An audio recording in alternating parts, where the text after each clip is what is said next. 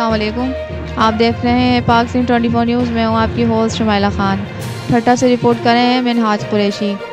मकली के मकामी फ़ारूक जन मोहम्मद अली जद दो इब्राहिम जद बराज जद, प्रेस क्लब गुलामुल्लाह में प्रेस कॉन्फ्रेंस की। उनका कहना है कि कुछ दिन पहले अयाज वारियों पर हमला हुआ था।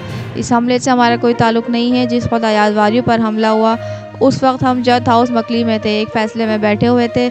इस फैसले में अवामी प्रेस क्लब ठट्टा में उनकी टीम के साथ फ़ैसले में मौजूद थे। इसके बाद अयाज वारियों की फरियाद पर हमारे ऊपर झूठे हमले का केस दाखिल किया गया।